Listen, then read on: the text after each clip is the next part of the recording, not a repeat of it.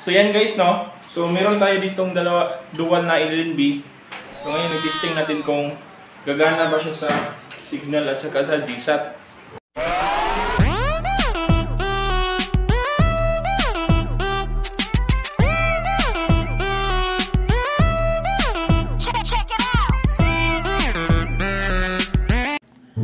So ito yung dual na LNB. So buksan na natin to guys. So subukan natin to guys ng dalawang box. Dalawang box at isang dish. So ganito yung loob niya guys oh. So okay siya. So dual siya. Tapos yung GSAT at saka signal sa at saka signal guys is parehas lang ng location ng satellite transponder. So susubukan natin tong gawin sa signal at saka GSAT. So ang nakalagay dito guys is universal twin LNB. Ah, if So meron siyang in input frequency is 10.7 12.75 gigahertz. Yan guys. So yan guys, i-demo natin to guys at sana gumana guys para may ma-share naman ako sa inyo guys. So sa hindi pa nag-subscribe, please subscribe my channel, Electrician Tech PH para updated kayo sa aking mga video. A few inches later. So yan guys no. So meron tayo ditong dalawa dual na LNB. So ngayon mag-testing natin kung gagana ba siya sa signal at saka sa GSAT. So meron tayo itong isang TV. Para dalawa yung TV natin. Para matesting natin yung GSAT saka, saka signal. So ngayon, kukuha lang tayo dito ng ito yung gagamitin natin isang ah, cable wire. So, so ikabit natin dun sa dish ng signal na sa labas. So ito isa is naka-connect na sa signal. So yung GSAT na lang yung ikabit, i-connect natin dun sa dito sa TV. So ayan. Ito, palitan ko yung LNB dun sa taas. Oh no! Dun sa nakakabit sa signal. So ito yung ipapalit natin. Yan. So let's go. Kasiga mo. Ikaw kasiga na? Ha?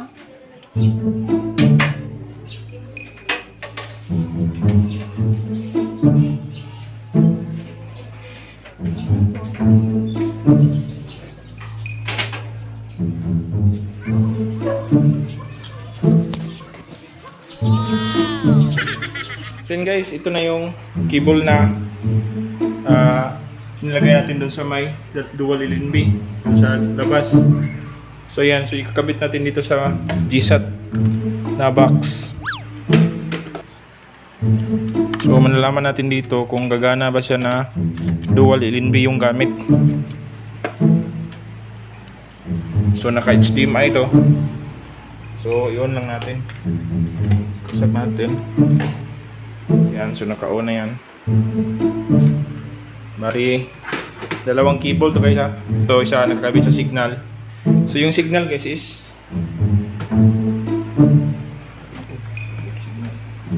Yan. So ang signal guys is nag gumagana na siya. Yan. So yung GSAT naman.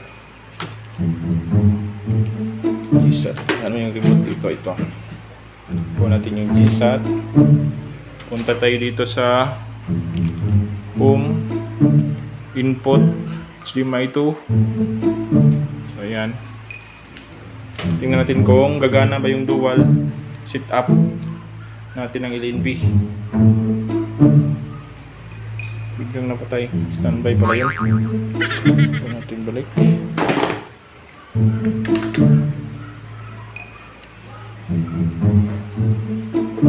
tula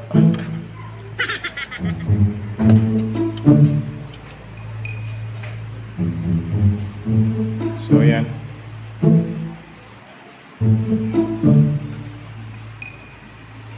so naglo-loading pa siya. So yan yung GSAT.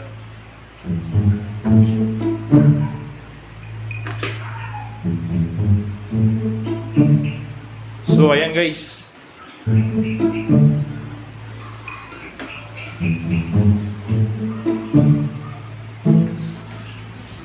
Pwede yung dalawang box sa isang sa dual na LNB. Yan. So meron dito sa signal to. Yan, so dito meron mo tayo na signal. Yan.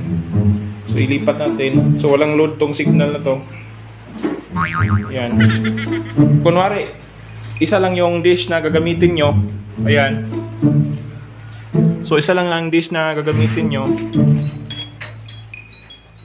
So isa lang dish na gagamitin nyo at dual na LNB. Pero dalawa, dalawang wire yung nakakabit. So ngayon, yung quality at strength naman niya is titingnan natin kung punta tayo sa menu ng GSAT kung ano yung installation antenna setup so yung quality niya guys is bumaba dito sa GSAT. Oh no! quality niya is 44 siguro i-adjust lang yung LNB konti. So ngayon dito naman yan sa signal naman tayo. Yan so yung signal. Ayan. Signal tayo Tignan natin yung signal. Set up. System setup installation.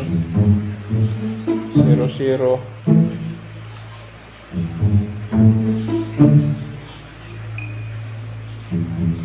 back.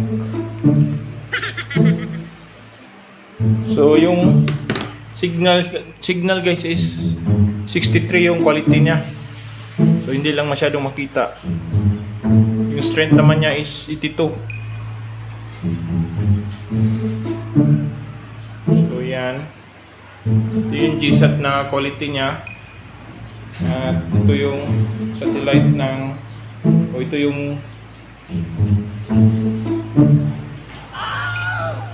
signal. A little longer than a few minutes later. Guys, no, napagalaman natin na gumagana yung dual na LNB.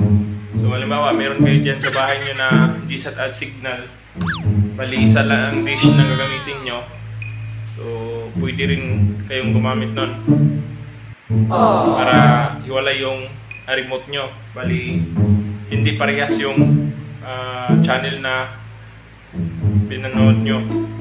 Yan